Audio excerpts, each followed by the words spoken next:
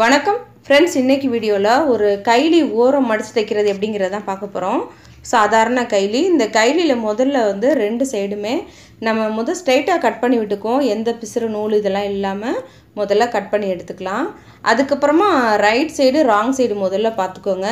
கைலியில் வந்து ரெண்டு சைடும் பாருங்கள் அந்த கரைபாகத்தை பிரிண்ட் லைட்டாக இருக்கும். அந்த சைடு வந்து ராங் சைடு கொஞ்சம் டார்க்காக இருக்க சைடு வந்து ரைட் சைடாக இருக்கும். இப்போ நம்ம வந்து ராங் சைடு தான் எடுத்துக்கிறோம். ரெண்டு சைடுமே நீட்டாக நம்ம கட் பண்ணி விட்டோம்னா அப்போ தான் நமக்கு தைக்கிறதுக்கு வசதியாக இருக்கும். இப்போ ரெண்டையும் சேர்த்து வச்சுக்கலாம். சேர்த்து வச்சுட்டு நல்லா தேய்ச்சி விட்டுக்கோங்க. இல்லைன்னா தைக்கும் போதே கொஞ்சம் மாறி வரும் துணி வந்து. அதனால் நல்லா தேய்ச்சி விட்டுட்டு அப்படியே ஒரு மடிப்பு மடித்து தைங்க. நீங்கள் இப்படியே நேராக கூட ஒரு ஸ்ட்ரைட்டாக ஒரு தையல் போட்டுட்டு கூட மடித்து தைக்கலாம். இல்லை நேரடியாக இந்த மாதிரி மடிச்சும் தைச்சிக்கலாம். கொஞ்சம் கொஞ்சமாக அது கொஞ்சம் நகராமல் மடித்து தைச்சிட்டே வாங்க. அந்த மிதி இருக்குது பாருங்கள் அந்த மிதியை விட கொஞ்சம் அதிகமான அளவு வச்சு ஒரு தையல் போட்டுக்கோங்க.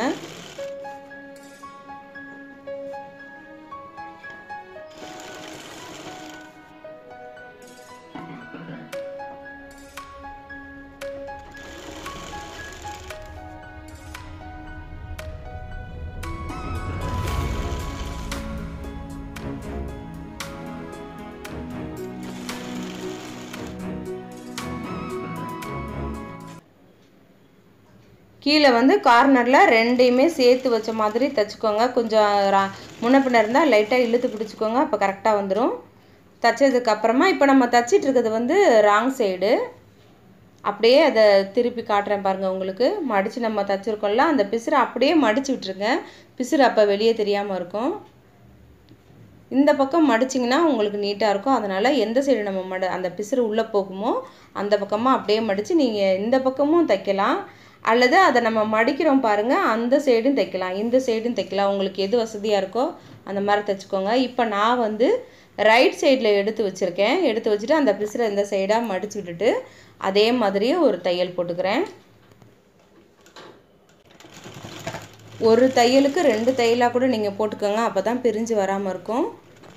கொஞ்சம் கொஞ்சமாக அப்படியே நம்ம வந்து அந்த இது நகர்ந்து போகக்கூடாது. நம்ம தைக்கிற அளவு அது ஒரே அளவாக இருக்கணும். அந்த மாதிரி தைச்சி எடுத்துக்கோங்க. ஃப்ரெண்ட்ஸ் உங்களுக்கு இந்த வீடியோ பிடிச்சிருந்தா என்னோட மகிழும் கிரியேஷன் சேனலுக்கு சப்ஸ்கிரைப் பண்ணிக்கோங்க. மறக்காமல் பக்கத்தில் இருக்க பெல் ஐக்கானே கிளிக் பண்ணிக்கோங்க. அப்போ தான் நான் எப்போ வீடியோ போட்டாலும் உங்களுக்கு உடனே நோட்டிஃபிகேஷன் வந்துடும் அதுக்காக தான்